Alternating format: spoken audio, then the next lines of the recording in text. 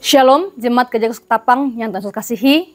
Kiranya sukacita dan damai sejahtera dari Allah Bapa sungguh menaungi kita melewati hari demi hari.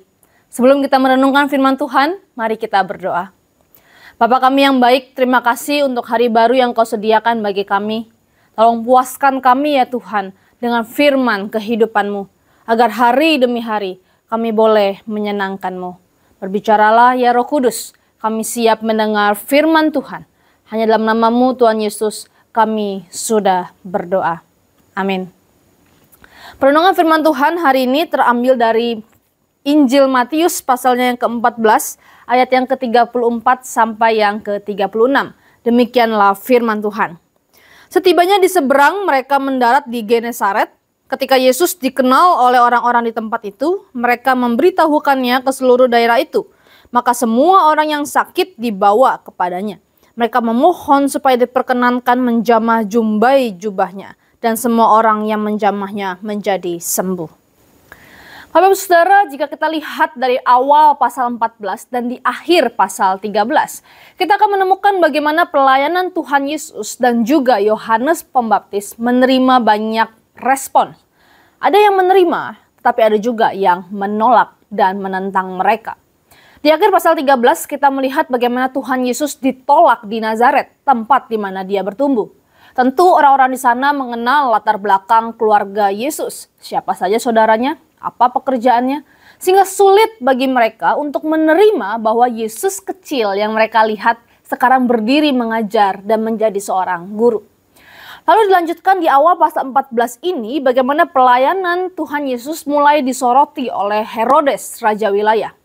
Dia berpikir Yesus ini adalah penjelmaan dari Yohanes Pembaptis yang dia penggal kepalanya.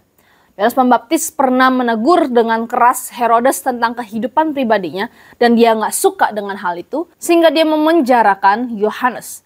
Tapi karena ada di suatu pesta dia sudah berjanji dengan putrinya untuk memberi apa pun yang dia mau dan karena permintaan putrinya yang disuruh oleh mamanya maka dia memenggal kepala Yohanes Pembaptis. Semoga kasih Kristus jika kita ada di dalam situasi yang demikian. Melayani Tuhan tetapi di dalam ancaman tersebut. Apa kira-kira respons kita?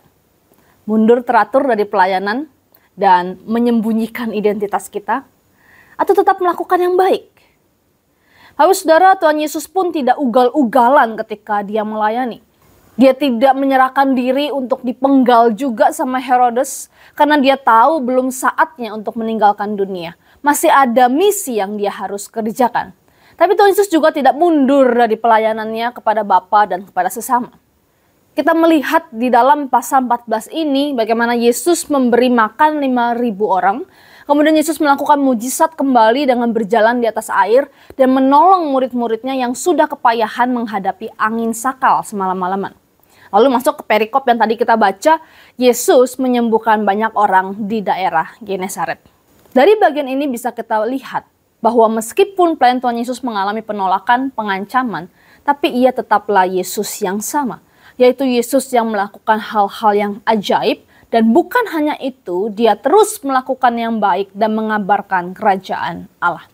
Biarlah kita punya kerinduan yang sama seperti Tuhan Yesus, Bapak Ibu.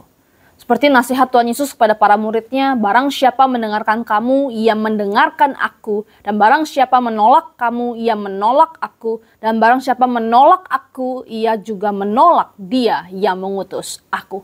Kita percaya bahwa pemberitaan Injil yang kita sampaikan, hal baik yang kita lakukan kepada sesama, adalah wujud kita menunjukkan Yesus yang hidup di dalam diri kita kepada dunia ini. Dan jika mereka menolak pemberitaan kita, menolak atau memutar balikan kebaikan yang kita lakukan, maka sebenarnya bukanlah kita yang sedang ditolak. Kita nggak perlu sakit hati apalagi mengutuki orang tersebut. Di dalam iman kita percaya bahwa Tuhan Yesuslah yang sebenarnya sedang ditolak. Karena itu tetaplah berbuat baik bagi pemberitaan Injil Bapak Ibu. Tetaplah melayani Tuhan karena apa yang telah Tuhan Yesus kerjakan, lakukan di dalam hidup kita. Keselamatan daripadanya, kebaikannya, kesetiaan, kasihnya, itulah yang mendorong kita untuk tetap melakukan yang baik kepada sesama kita, apa pun respon mereka. Ibu Teresa dari Kalkuta pernah berkata demikian, Orang sering tidak masuk akal dan egois. Maafkan mereka. Jika Anda baik hati, orang mungkin menuduh Anda memiliki motif tersembunyi. Tetaplah baik. Jika Anda jujur, orang mungkin menipu Anda. Jujur saja. Jika Anda menemukan kebahagiaan, orang mungkin iri. Tetaplah bahagia. Kebaikan yang Anda lakukan hari ini mungkin akan terlupakan. Berbuatlah yang baik. Berikan dunia yang terbaik yang Anda miliki dan itu mungkin gak akan pernah cukup. Tetap berikan yang terbaik. Pada akhirnya semuanya itu adalah antara Anda dan Tuhan. Ini sama sekali tidak ada kaitannya antara kamu dan mereka.